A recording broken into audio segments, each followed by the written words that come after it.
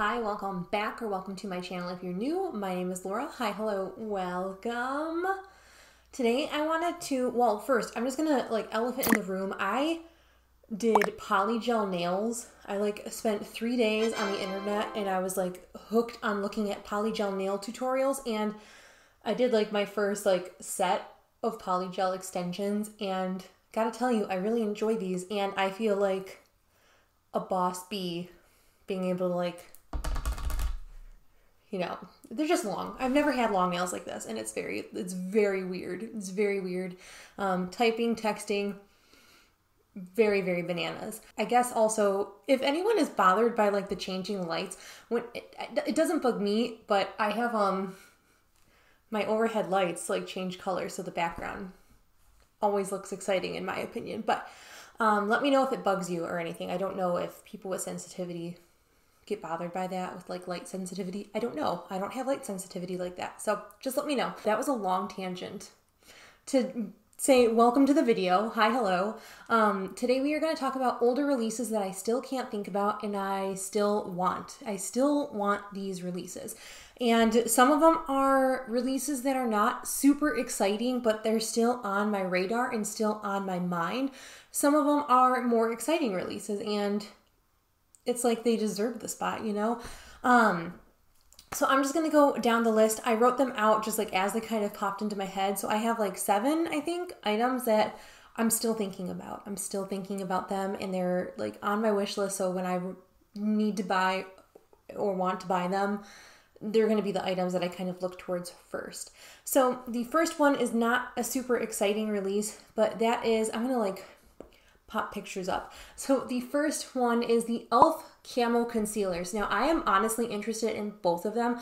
I, I have heard good things about the coverage of those. Um, so I, I really would love to try them and see how they are. But I have that Too Faced concealer is just such a beast that I'm I'm sure I'm not going to be in the market for a concealer for quite some time, as well as that like It Cosmetics one in the pot. Um, I'm sure that's going to take forever to get through too. So I'm sure there will be other or concealers that are going to be on the market if those ever go away. So the next release that I can't stop thinking about, and honestly, it's probably the thing that like keeps drawing me back and like beckoning me to it, like buy me, love me. So that is the Lunar Beauty Moonspell palette, and I, that palette, that color story is just so good. I just, it's so good.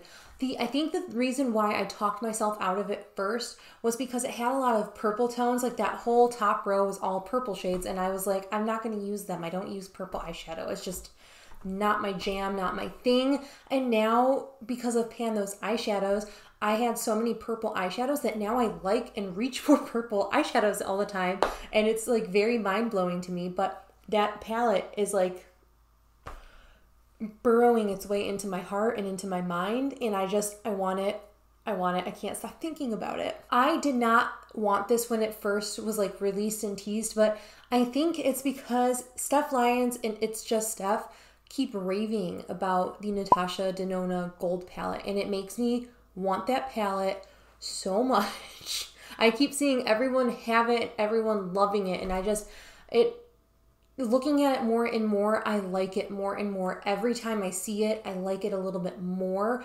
Especially some of those like duochromy, like the the teal blue shades. The matte one I can do without. I have that like four times over. But some of those special like metallic shades, they're just so pretty, and I just I want them. I want to put them on my eyeballs.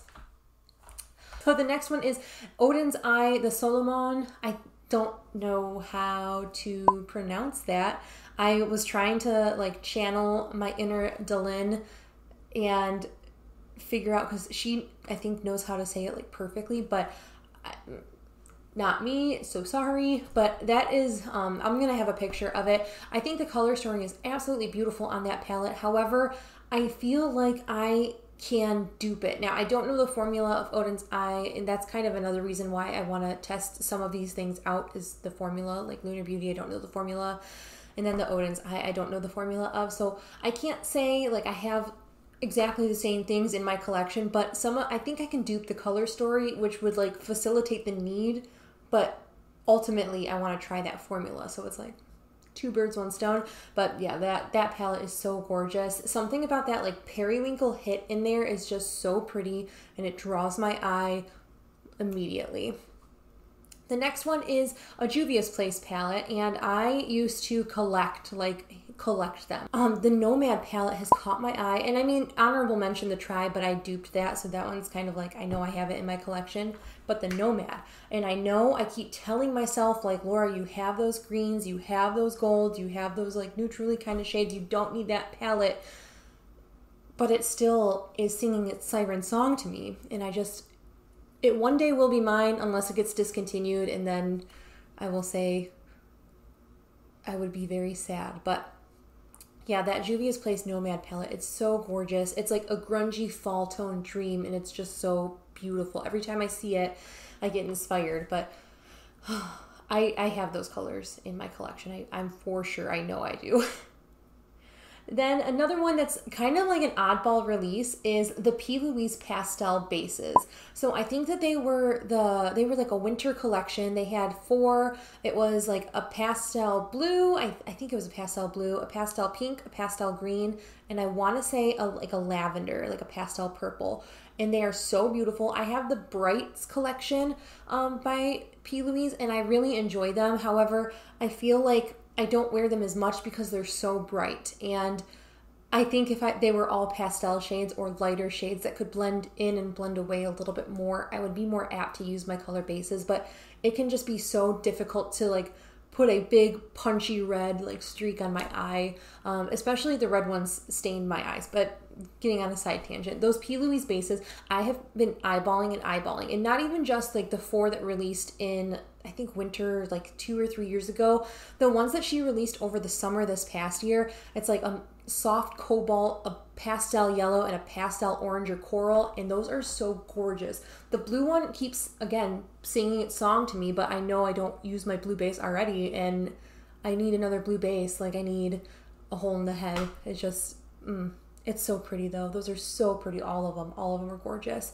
And then the last thing that we're going to talk about is another palette. So palettes are my favorite thing um, in makeup. Eyeshadows in general are just like my favorite thing. It's like my favorite thing to collect to have to use um, all of that. So the last one and the last item on this list is the Glamlite Ice Cream Palette. And I was so close, so close to buying that little ice cream bundle set, like the whole ice cream uh, set. It had like the lip glosses, I think she had lashes, all of it. I wanted the whole thing and I was about to just buy it and be like, treat yourself. This is my Christmas gift to myself.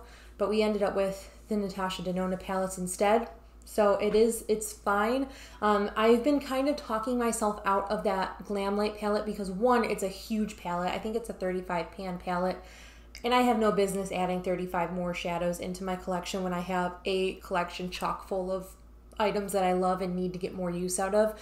And two, it's just the size of it. I am notoriously bad for wanting, oh, this palette has so many shades, you get such a value for it. And then getting it and being like, why is it so big? It's so giant. I can't put it anywhere. Ugh. It's why, Laura? You're a ding dong. so I have like notoriously bad and getting an itch to depot all of my larger palettes. And when that is the case, it's basically like the palettes have gone to die when they're depotted at that point. So I know in my heart of hearts, I don't need the Glamlite ice cream palette, but those pastels are so dreamy and beautiful, and I just want them. Maybe one day when I get through a bunch of my shadows, I will purchase the ice cream palette, but until then, we are going to make do with what we have. And that is it. That is everything that's been on my wish list for I don't even know how long. Things that I wasn't interested in, things that like slowly have morphed into like a, a secret love affair that I have. But yeah, let me know if there's anything, any older releases that are on your guys' radar because I'm sure I have one item that's like a new upcoming release that I'm like gunning to get. I want that um Glaminatrix Ya Beauty, I think it's You Beauty palette. It looks so beautiful, just like the shades that she's released. I want that palette so bad. So that might be my first palette purchase of 2021. But let me know what things you are interested in. Let me know if there's any older releases that have still caught your eye. Let me know if there's any new releases that are catching your eye that I need to also have my eye drawn towards.